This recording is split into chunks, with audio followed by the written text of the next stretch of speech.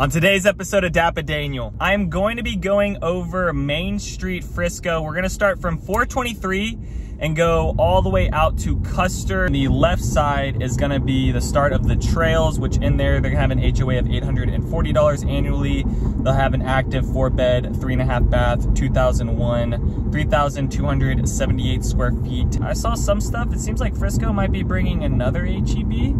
That could be the potential. And also guys, uh, Universal Studios, here's a quick update on that, has been put on a pause. I think the people need to fight. Guys, the Fields of Frisco is gonna be selling Highland Homes. 1.8 million. Uh, so that makes sense. What's going on everyone? Welcome back to another video today. I'm going to be going over Main Street Frisco. We're gonna start from 423 and go all the way out to Custer. So basically on the border of Little Elm, all the way to the border of McKinney. Just going down Main Street, showing you guys what Main Street has to offer. So sit back, relax, enjoy this drive through on this uh, pretty nice day. We've had some good weather over the past couple days. And also want to give a shout out to all the people that have subscribed. I'm now over a thousand subscribers, so thank you so much, guys. And I also hit a thousand subscribers on my birthday, so that was a really good birthday present uh, for me. I just turned 25, so basically that means quarter life crisis, engage. We're gonna be turning right onto Main Street. The first neighborhood I'll talk about is Springview Estates. Now, majority of these neighborhoods I've actually gone through and uh, driven through or talked about in my previously driving tour videos. So if you want to see more about that, go to my, my Frisco playlist. You can see more of the, the roads that go north to south or south to north, depending on how you look at it. But we're going basically west to east along here. So Springview Estates, Meadow Creek on the left side. Springview Estates is going to have an HOA of $850 annually. Meadow Creek is to have an HOA of $300 annually. And then Windsor Place on this right side is to have an HOA of $220 quarterly. There wasn't any actives to pull from. I'll pull some more actives. I'll pull some actives as we go along. It's just that those neighborhoods didn't have anything active within it right now. And then on the left side is gonna be the start of the trails, which in there, they're gonna have an HOA of $840 annually. They'll have an active four bed, three and a half bath, 2001, 3,278 square feet at $625,000. And the trails is a really big neighborhood. That one has like a golf course in it. And then I'll pull into uh, my first neighbor neighborhood up here, which is gonna be West Falls Village, which is the one here on this right side. So I'll pull into this, show you guys some of the houses in here, but they have an active that's gonna be a five bed, four bath, 2000 year build, 3,550 square feet at $765,000. This is also like the main area. Once we get up to Teal is where we're gonna be like your shopping, some of the restaurants are, and uh, we'll drive by that here in a second. But here's what some of the older houses look like back in like 2000 that were getting built along Main Street.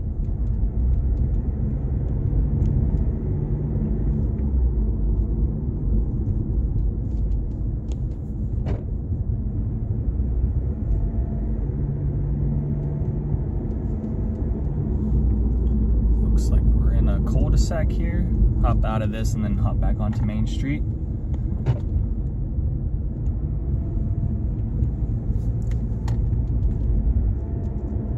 As you can see, the trees are uh, pretty grown out around here. We'll go through some new construction stuff where the trees will not look like this.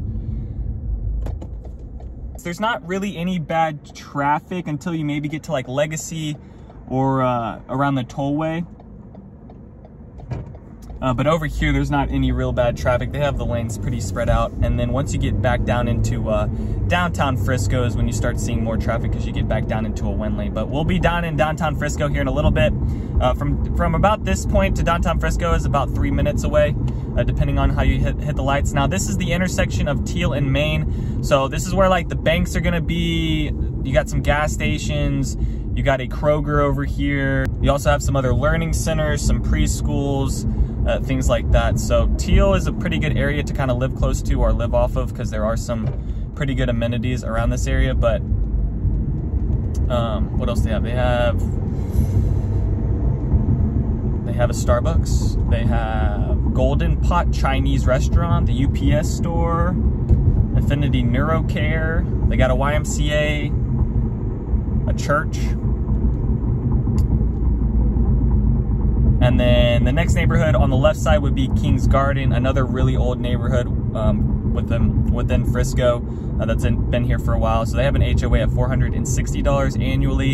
And then on the right side, we'll be coming up on Park West, which is a, a new development along Legacy Road uh, that's pretty done for the most part. I would say they do have this piece of land along here that's currently for sale for like $9 million, which is just like, nah. All right, into Park West. So Park West is gonna have an HOA of $1,089 annually. And uh, they're gonna have an active in here, a three bed, two bath, 2020 year build, 2,448 square feet at $699,000. Now the house is in here, they're gonna be a hit or miss with some of you guys. Uh, these houses are basically called shotgun houses where they're more just like down than kind of the width. But this is essentially what these homes look like. Though they do have like some good variety. They're kind of, uh, well, how do you say, uh, cute? You know, they're kind of like cute little houses. But if you're looking for like a bigger yard and a little bit more privacy uh, and more space within the house, maybe not the best option for these types of homes, though there are quite a bit of homes selling like this uh, and getting built like this nowadays because the developers just really want to pack them in, you know?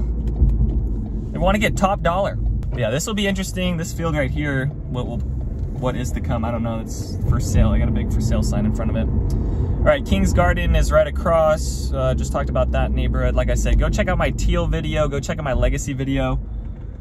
I do more of a drive-through um, on those neighborhoods. All right, now we're to the intersection of Legacy and Main Street. So once again, you got a couple banks, you got more gas stations, but you also got the HEB, which I saw some stuff. It seems like Frisco might be bringing another HEB. That could be the potential. And also, guys, uh, Universal Studios, here's a quick update on that, has been put on a pause. I think the people need to fight. And basically, I think we need to hold uh, the roads hostage and the traffic hostage, and then we can agree to uh, building the Universal Studios. I think that's how we're gonna fix like the roads and the traffic and the in infrastructure if we hold that hostage and say, no, Mayor, we will not vote for this unless you fix all these other things, which is kind of what's been going on in the meetings right now with people. Uh, so it'll be interesting to see, but I'll kind of just keep you guys up to date uh, with what's going on with that. All right, HEB is over on the left side. So uh, yeah, if you're gonna live off Main Street, Legacy, Dallas Parkway, you're gonna be right by the HEB up on this uh, north side of Frisco along Main Street. There's also some more restaurants around here. You got kind of like more nicer things. You got Cava, Pie Five, Freebirds, Mooyah, uh, Snappy Salads. I guess that's just like a little bit better than that of like McDonald's that was on like the Teal and, and Dairy Queen. I guess these are a little bit better. All right, now we're at the Dallas Parkway. We're going under the tollway right now, and this leads us into the beginning of downtown Frisco. You got the Medical City on the right side. You got more, I would say even nicer. You got like little sushi restaurants, maybe some burger joints in here. Gets like a little bit more of like the eats, good eats in here. And then you got Toyota Stadium up on the left side, as well as uh, the National Soccer Hall of Fame. And then you have some more restaurants. And then you got Coleman uh, which is like the main street of Frisco Square. Uh, but here's basically Frisco Square and what it looks like. This area kind of lacks in like bringing people to it. I don't, it's not, I mean, I've lived in Frisco my whole life, guys, and I've never been like, oh, let's go down to Frisco Square, check it out. It's kind of, uh, I don't know, it's, it's kind of whatever in my sense. I'm more of like Legacy West or, uh, what am I? Yeah, I'm more of like a Legacy West or Shops a Legacy type of person. All right, G-Wagon, let's get to moving. All right, actually, no, that's my bad. There's a person here. That's my bad. I need to be patient, calm down. There's no rush. There's pedestrians in the way. All right, back on Main Street, you can see the uh, Toyota Stadium here, which it doesn't look like a stadium because it's actually built into the ground, which is pretty awesome on Frisco's part and how they built it because it's not really an eyesore, you know, it's kind of just dug into the ground, uh, which makes it look a little bit nice around here. And you don't really, even really notice there's a huge, ginormous stadium uh, over here. I mean, the, the Cowboys, the star looks bigger than the Toyota Stadium because uh, that one's like literally above ground. All right, now we're going over the train tracks. uh, getting down into downtown Frisco now. This is gonna lead us into Frisco Original Donation, which is gonna have an HOA of nothing. They're also gonna have an active right now, a four bed, three bath, 1981 year build, 3,209 square feet at $570,000. All right, going over the train tracks now. Uh, even over in 423, I mean, maybe not nowadays, but I mean, back in the day, I could hear the train coming through, uh, living all the way off of 423 and that far, I could hear the train coming through. I don't hear it as much nowadays, but sometimes I do. All right, this is where the traffic will start around like three o'clock in some areas. I'm currently driving at noon, so this is a pretty good time to kind of drive through this area. Not too much traffic over here. Um, and then behind these buildings is where the Frisco Original Donation, where you're gonna find a lot older homes. Uh, in this area, you're gonna find homes built all the way in the early 1900s. So that's old. And then you're gonna have some, th some stuff that's like completely new construction around here because I will say the downtown Frisco area is slowly but sure, surely going under renovations. They built the rail district, which is what we're in right now, and they've kind of added some more new stuff at the end, but it's not I don't know. I I don't know. I don't know if it's really doing the job that they were intending for like bringing foot traffic and things like that. I think uh, I think they still need to fix up some areas uh, around here and just make it. I mean, it, is pretty walkable, I will say, but uh, the types of shops and things, it's it's kind of whatever. Like I said, I'm more of a shops at Legacy or Legacy West type of person. I'm I'm not really like, oh, let's go hit downtown Frisco. Uh, there's not really any bars, but they are bringing a brewery, so that could change things. We'll see. Hmm. All right, more uh, more little shops. There's some boutiques. There's a gas station here, and then this is one of their new areas in here in the rail district, which some businesses have been like closing along here, which is why I go back into my point of like, I don't know if it's exactly doing everything that they uh, plan for it to do around here. I, I, I'm not quite sure. I think they were expecting a little bit more uh, people around those areas when, once they finish those uh, buildings back there, but maybe one day. All right, now we're coming up to Preston uh, Road. This is also where like the uh, main Frisco Fire Department is. There's also a Walmart along here on Preston Road. And uh, just some other like automobile repair shops that are on this other side, some older paint body shops. Uh, on the right side is where you're gonna see the fire department. And that's like the main fire department. And I'm also, once we get over Preston, I'm gonna go through the villages on Main. This is a new community by Normandy Homes. Now, they haven't released like anything on it yet. Uh, it's still really new. They do have it up on their website. They do show things coming soon. All right, and this is Preston Road. And guys, I've done a video on all of these. So Preston Road, Teal, Legacy, Dallas Parkway. So go check out my Frisco playlist if you want to see more of the neighborhoods that run along those streets. All right, this is Brinkman Ranch on the left side. Really huge ranch. The family's been slowly selling off stuff. If you guys have been watching my channel, I kind of talk about this neighborhood. But this is a huge patch of land that is a lot of potential for more things to come around the Frisco area and, and developments. Um, you're starting to see Lexington Parks, which is the neighborhood I just did a video over, um, is going into that uh, ranch now. All right, this is the villages on Main. Like I said, a brand new community they don't really have anything up yet. Looks like they're building in their amenity center, but this is what Normandy Homes is gonna be building in within here. So this could be another good opportunity for some of you uh, trying to look uh, around like the Frisco, the Main Street area. Looks like they're just uh, building their amenity center right now. Can I go out this way? Pouring concrete. All right, I thought I could get out that way. It looks like I'm gonna be going around the whole neighborhood, so have a look. Oh wow, that's a uh, that's a mound of dirt right there. But yeah, no actives in here, so nothing really to talk about. They also didn't have like the HOA or any of those community details on here, but uh, I can only imagine that. It looks like these are going to be like 40 foot lots in here. uh, but probably starting around a million dollars uh, would be my guess. Guys, the Fields of Frisco is going to be selling Highland Homes, 1.8 million. So that's going to get really interesting with the uh, price structures around here. Uh, once the Fields of Frisco is in, I mean, that is just going to be super expensive and just bring up bring up the price of a lot of things. All right, now there's some other older neighborhoods kind of in this back area on this right side. So you have like Hillcrest Highlands, Preston Oaks, Preston Glen, Creeks on Coit. All those have an HOA of nothing. And those are older homes in there, once again, like 1980s, 1990s. Uh, we're coming up on Hillcrest.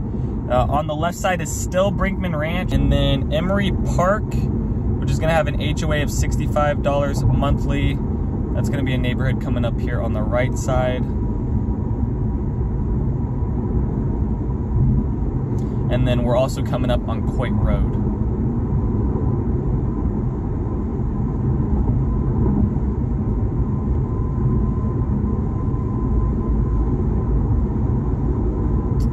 On the left is also the new Lexington Parks and Lexington Country. Lexington Parks is like the newer side. They have some like townhomes, single family homes in here. Here's Emery Park. Let me just show you these houses within here.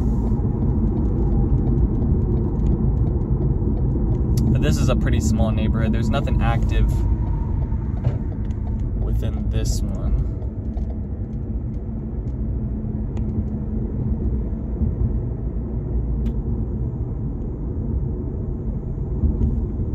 See, that's the old, there was like an old farm building in here and they kept it, I believe. The people that used to own all this land. Let's see if I can find it. Oh yes, this one here on this right side. They stayed. and then they built the neighborhood around it. I remember when this house was just a huge field.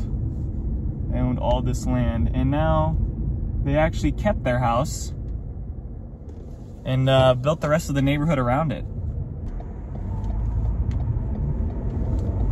All right, and then this is Coit Road. So Lexington is gonna have an HOA of $1,200 annually, but they do have some, uh, I believe the HOA for the, the townhomes was like $2,100 annually. And their, their new side is a little bit more expensive than their uh, older side.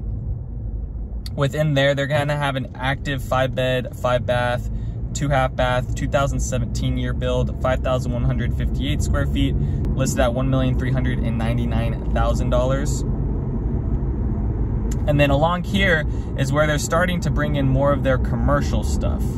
So you can see some of these buildings are starting to get um, put up and then there aren't really any businesses within them yet. They do have like a preschool over here and then Lexington Country on the right side. Let me jump into this neighborhood, Cypress Creek.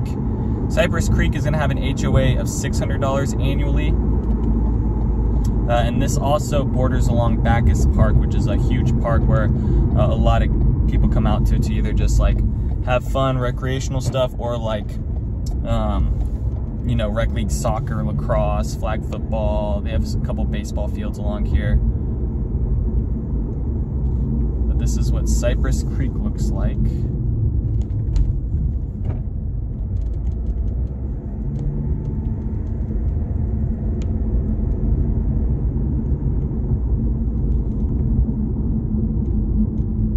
All right, and then after this, we really just have two more neighborhoods, and then we'll be along Custer.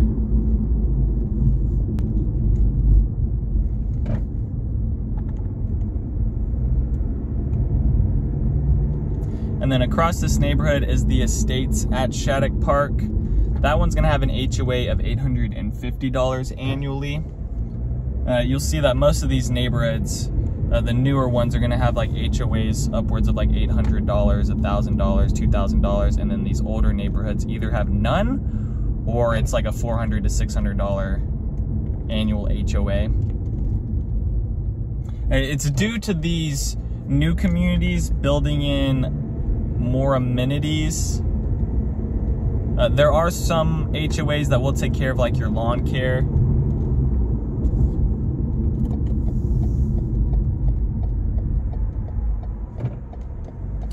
Okay, Estates at Shaddock Park is on the left side. Uh, within there, they're gonna have an active new construction, a 2023 four bed, three bath, two half bath, 3,300 square feet at $905,000. Uh, the entrance for Bacchus Park is on the right side. Looks like there's some people fishing out in the pond over there. And then this will take us to our last development, last neighborhood along Main Street. We're going over Independence Parkway. And then this is the Grove. So the Grove has a couple different options. They have some like CB JENI townhomes at like the $500,000, $600,000 range. And then they also have some other models um, upwards of like the million dollar on like 60 foot lots. The left side is where like the new development of the Grove is gonna come in. So they are gonna be bringing stuff in on the left side. Uh, but their main area that they've already built out with the phases is on this right side. They are still finishing up some parts of the neighborhood, but they will be done soon. All right, this is into the Grove, and there's also an entrance on Custer, and we're pretty close to now 121. So if you live kind of over in this area, you're not gonna really be taking the Dallas North Tollway. Well, you might once you hop on 121 and then take the Dallas North Tollway, but for the most part, people that live around here are usually just taking or driving on Custer down to 121 and then hopping on there and either going to 75 down to Dallas or the Dallas North Tollway, depending on if you want to pay for tolls. Uh, for example, within the Grove, they're going to have an active five bed, four and a half bath, 2018 year, 3,263 square feet at $865,000. Uh, their amenity centers on this left side. I'm not. I'm. I'm. Am I gonna fit? Am I gonna fit? Hmm. I don't know if I'm gonna fit. Oh, this is a. This is awkward. This dude's just got his door open. We'll just patiently wait. I'm in no rush. Alrighty, just slipped on by. All right, so here's what the Grove looks like. Really pretty homes in here. You got Shaddock, American Legend.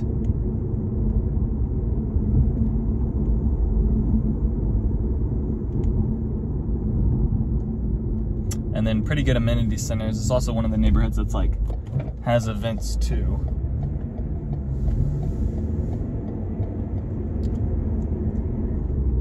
Oh wow, I like this house right here. Straight ahead. Kind of has a nice curb appeal to it. And driving through the neighborhood, there is pretty good amount of variety just looking at these houses. Uh, I feel like Lexington, when I just went through their new stuff, like I felt like the land homes that were like the townhomes had good variety, but the uh, larger homes, they kind of really all look the same with that stucco. Uh, this one seems to have pretty good variety between like a stone, brick, paneling. All right, let me figure out how to get back onto Main Street and then basically we'll be done with this video, guys, and that's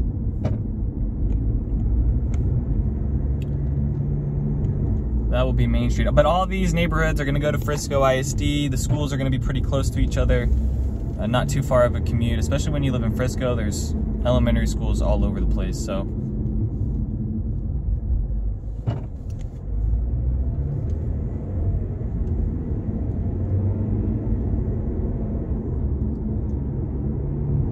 All right, and then across the street is where their new section is gonna be coming in.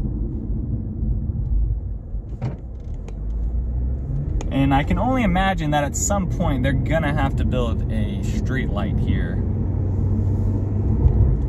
because the other side of the development is going to be starting on this field along here. All right, and then on the right side is where those CB JENI townhomes are. There's also an apartment complex for the Grove too, so potentially, you know, you could be living there while you're getting your house built, or just having your house built in general. It is a new uh, apartment center, so it should be pretty nice within the inside. Uh, and then this takes us to Custer, which more stuff along here, CVS, Walgreens, uh, some other fast food restaurants. But that's gonna do it for Main Street and majority of the neighborhoods uh, that are along Main Street. So if you have any questions about any of those neighborhoods that I brought up, maybe the new construction ones, please send me a text. I am a realtor, would love to help you guys out. Uh, you and your family if you are looking for something right now in the Frisco area or just in North Dallas in general. Once again, thank you guys so much for going over a thousand subscribers. I uh, I was able to monetize the channel, and so far, we've made six dollars. So shout out to you guys. Thank you. Other than that, peace out, y'all. Take it easy.